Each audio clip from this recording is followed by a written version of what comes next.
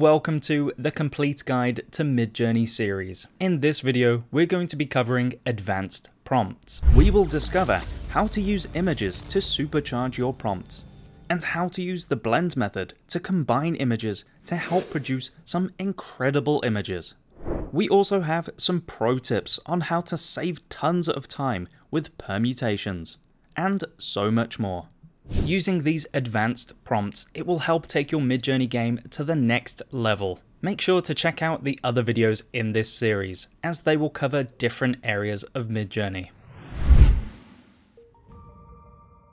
Just a quick note here. I will mainly be using the version 5.2 Midjourney model in this video. There may be newer versions out as you are watching this, so feel free to use them but if you would like to get the same results I'm getting in this video, I would advise you to use the 5.2 model. The same rules should mostly apply to all models. Okay, back to the video. So to get started, let's have a look at image prompts. With image prompts, it allows you to use images as part of the prompt to influence a job's composition, style, and colors. Image prompts can be used alone or with text prompts.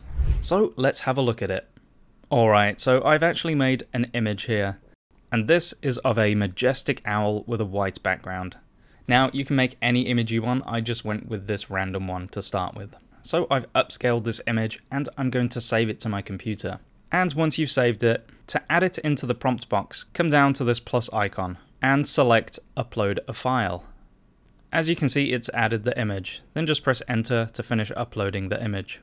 So now I'll start a new prompt, so I'll put in slash imagine, and I'll drag that image that we just uploaded into the prompt box. As you can see, it's added the URL of the image. And then just put a space after the URL and write in what you want the prompt to be. So I'll try birthday cake. Now what should happen is Midjourney should see the image of the owl and see the text prompt of birthday cake and put them together. So let's see what kind of interesting images it makes. And these images are really interesting.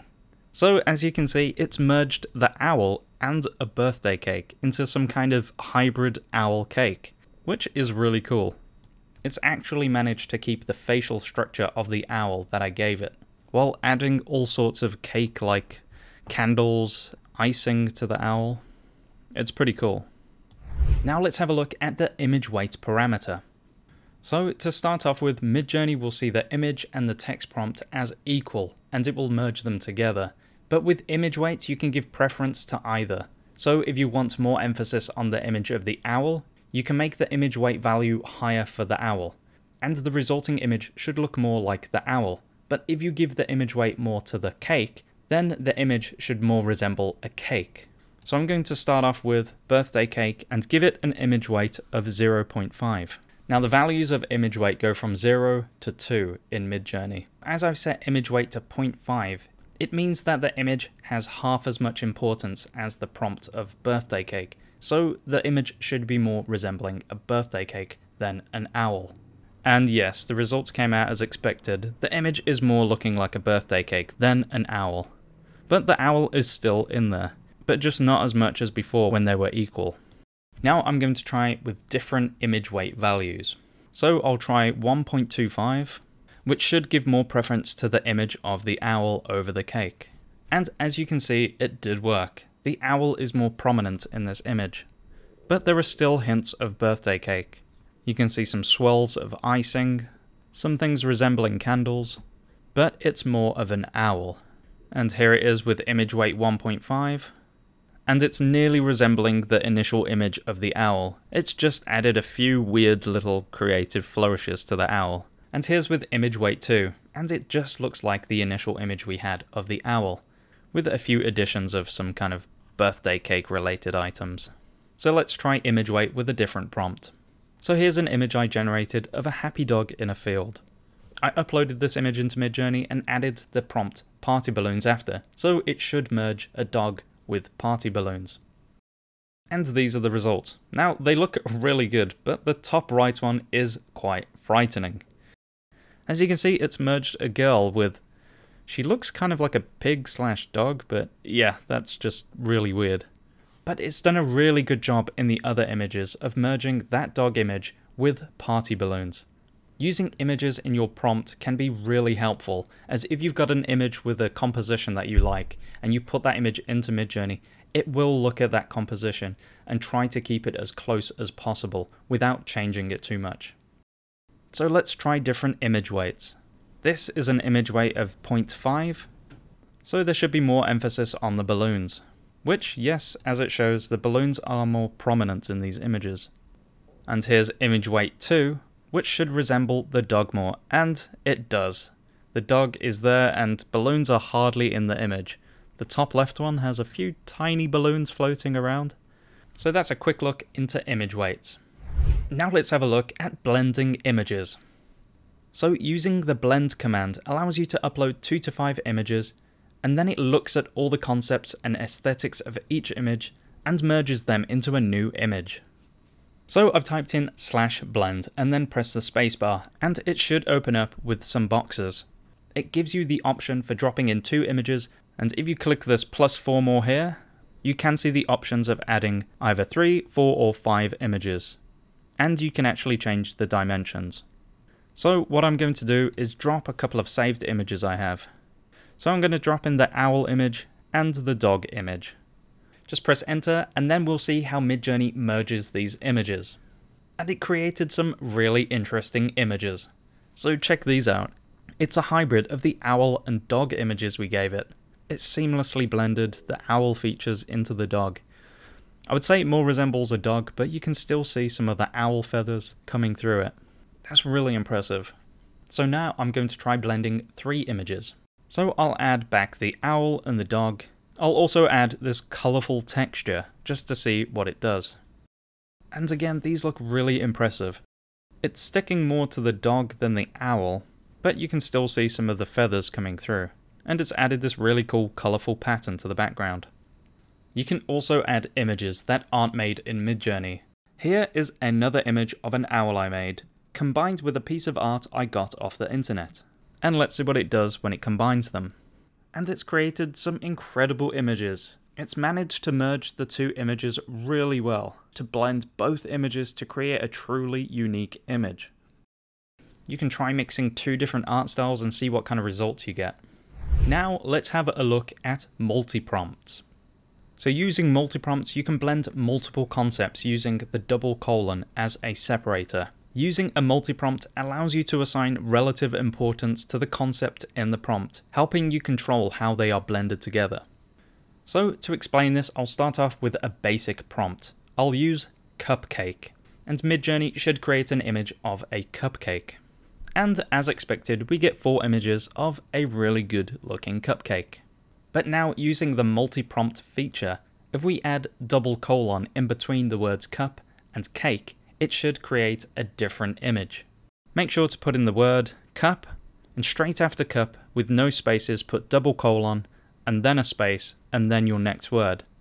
And what this should do is it should separate those two words into cup separately and cake. So we should have an image with those two separate things in it. And we get some really interesting results. So as you can see, from the old prompt we got an actual cupcake, but this one has taken those two words separately and merged them together. We have an image which resembles more of a cup, plus a cake in it. So these ones have mugs or cups, it's more like a cake has been placed on top of it. So this can just help to separate your prompts a bit more. And what we can do from here, we can add prompt weights. So with prompt weights, you can give more emphasis to one of the words. So I've put in cup, colon colon, space, cake, colon colon, and put 2 after the double colon. Now what this does is it's telling Midjourney that cake is twice as important as cup, so we should get an image with more cake in it. It works very similar to the image weight parameter. And as you can see here, the image resembles more of a cake than a cup. And now I'll try cup with a prompt weight of 2 instead. And it came out as expected the cup is more prominent in this image. So let's have a quick look at another prompt. So for this prompt I used water bottle, and these are the results I got. For some reason Midjourney has put some artwork on these water bottles, but they do look like water bottles I guess. Now I'll give water a prompt value of 2, and water nothing. So we should get more of a watery image. And yes we did, there is still a bottle in there, but water is the main focus. And here is bottle with a prompt weight of 2. And the bottle is more prominent, but with water still in the image. So this is incredibly useful if you want parts of your prompt to have more emphasis than others. Now let's have a look at permutation prompts. What permutation prompts do, they allow you to quickly generate variations of a prompt with a single slash imagine command. So if you want to create loads of different images but don't want to type out loads of individual prompts, then this is extremely useful. Now, depending on what subscription model you have, you will be able to do different amounts of permutations. With the basic subscribers plan, you can do a maximum of 4 jobs with a single permutation prompt. With standard subscribers, you can do a maximum of 10 jobs. With pro and mega subscribers, you can create a maximum of 40 jobs with a single permutation prompt. So let's say I want an image of a flower, but I want it in different colors. I don't want to waste time writing individual prompts with all the different colors. I just want to write one prompt that will generate all these different images. You have to put your permutations inside curly braces or curly brackets, depending on what you call them. So here I've got a beautiful curly bracket, red, comma, space, blue, comma, space, yellow, curly bracket, space, flower. So what this tells Midjourney is that it needs to create a red, blue, and yellow version of that flower, and it will do this all in one go. When you press enter, you will see this notification pop up. Are you sure you want to imagine three prompts from the template? You can click show prompt. It will show you all the different prompts that it will start. And I'll just click yes. And as you can see, the jobs start automatically. This is a huge time saver. And there you go, it's created three amazing batches of images. They all look really good. And you can use permutations for anything really, so here I'll try different aspect ratios. So I'll write in a beautiful blue flower, and then space, hyphen hyphen AR space, curly braces, and then I'll include all the aspect ratios I want to create. So I've got 3 by 2, 1 by 1, 2 by 3, and 1 by 2, and then curly braces, and press enter. It will always give you this notification to confirm. And it's created the same prompt but in different aspect ratios. So I can decide which one I like best. You can also use permutations to generate images using different versions of Midjourney. They look so different. And you can use multiple permutations in the same prompt as well. So here I've got a beautiful curly braces, green, comma, space purple, curly braces, flower in the jungle, and then another permutation in the same prompt with curly braces, jungle, comma, space, desert, curly braces. So this should generate four images. And here you go, I've got a green flower in the jungle and desert, and it's also given me a purple flower in the jungle and desert. And here's another permutation example. And for this image, I want a bird that is a red one, a pastel one, and a yellow one. And it's generated some great images that match those colours. But say I wanted a red bird and then a yellow and pastel bird together, not separately. All you have to do is put a backslash before that comma, and then it should see pastel and yellow as one. And it will say two jobs instead of three now it will generate a red bird and then a pastel yellow bird.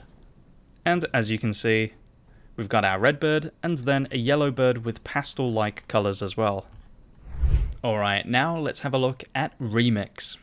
Remix mode is extremely useful, as if you find an image that you like but want to change an aspect of it, it can do just that. So let's try an example prompt.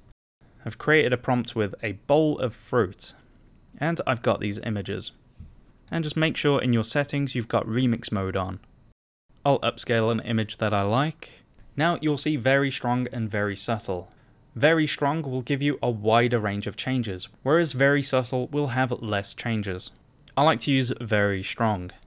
And now this box will pop up, which allows you to remix the prompt. So I'll try a bowl of cartoon fruit, and let's see what it makes. So as you can see, we've got a cartoon bowl of fruit now and it's kept the same kind of composition as the original image. Now I'm going to try Remix but with a different prompt. I've generated an image of a watch, but I don't quite like the band on it, so I'm going to use Remix mode to change that. So I've clicked on Very Strong, And I'm going to change the prompt to a blue watch with a metal band. I've used raw style for this image as I wanted it to look more realistic. And I've also used the no parameter, which should get rid of any leather in the image. If you're wondering what the no parameter is, well, I've created a video all on parameters in Midjourney, which you can find in the link below. And we got some really good results.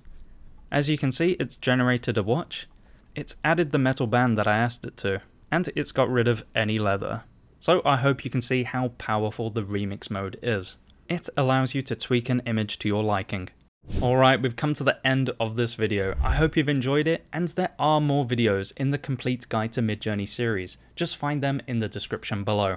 If you've learnt anything in this video, give us a thumbs up, feel free to subscribe, and click the thumbnail on the screen to check out another incredible video in our Ultimate Midjourney Guide series. You won't want to miss it.